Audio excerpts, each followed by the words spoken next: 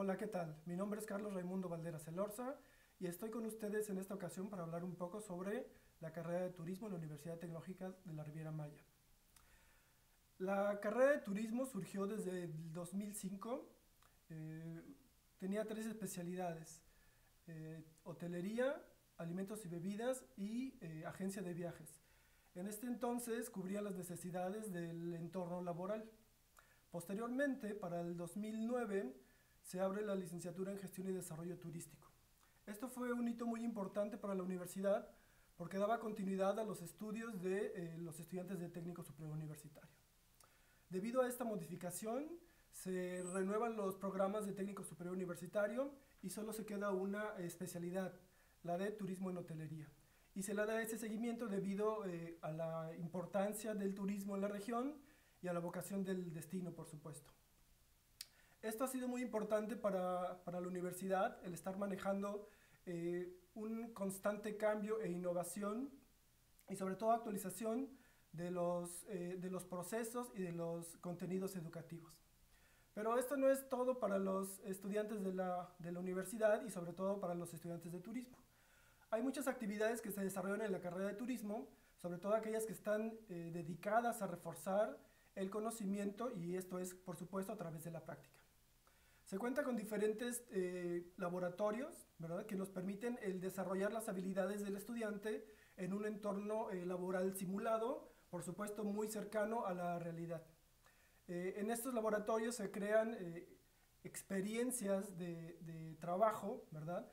las que son todos los días monitoreadas y con un seguimiento académico, para estar más acercados a la realidad laboral de pues, de los estudiantes en un, en un próximo futuro. Ahora bien, eh, estas actividades se ven reforzadas por otros tipos de prácticas a lo largo de la carrera eh, de turismo y de la licenciatura, por supuesto. Estas prácticas están enfocadas eh, básicamente en conocer el destino, el destino turístico y conocer sus empresas. Entonces, los estudiantes con acompañamiento del docente hacen visitas guiadas a las diferentes empresas turísticas de la región. Y no solo esto, eh, en el afán de reforzar la cuestión eh, académica y por ejemplo la cuestión de patrimonio, se realizan diferentes viajes a nivel nacional para reforzar los conocimientos ahí adquiridos. Estas son experiencias de vida para los estudiantes y son experiencias muy valiosas para el desarrollo académico también eh, de, las, de las personas que están pensando en desarrollarse en la vida laboral del turismo.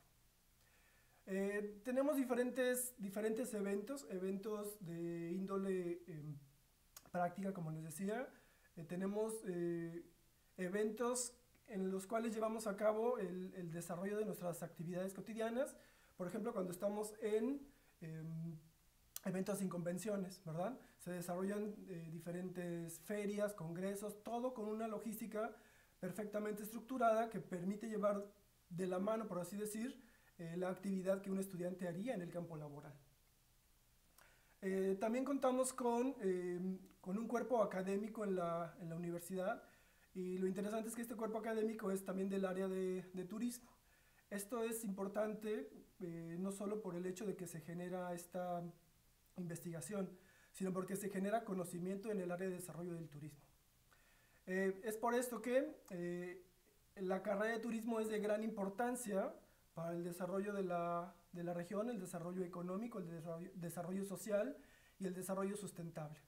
Pues eh, creo que no es el, el, punto para decir que turismo ha dejado de crecer como una carrera, sino es eh, simplemente un, un, paso más, un punto de inflexión en el que podemos seguir trabajando, mejorando y, eh, por supuesto, brindando todo lo mejor para el estudiantado de, de la universidad y, por supuesto, de la carrera de turismo. Muchas gracias y que tengan un excelente día.